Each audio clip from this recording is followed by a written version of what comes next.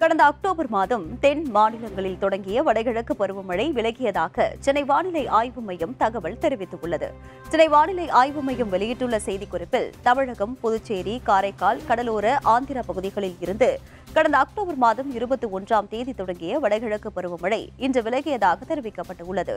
தமிழகத்தில் இன்று முதல் வரும் பதினேழாம் தேதி வரை வறண்ட வானிலை நிலவக்கூடும் எனவும் ஓரிரு இடங்களில் அதிகாலை வேளையில் லேசான பனி மூட்டத்திற்கு வாய்ப்புள்ளதாகவும் கூறப்பட்டுள்ளது. வரும் பதினெட்டு முதல் இருபதாம் தேதி வரை தென் தமிழக பகுதிகளில் ஓரிரு இடங்களில் லேசான மழை பெய்யக்கூடும் எனவும் சென்னை மற்றும் புறநகர் பகுதிகளில் அதிகாலை வேளையில் லேசான பனை மூட்டத்திற்கு வாய்ப்புள்ளதாகவும் தெரிவிக்கப்பட்டுள்ளது.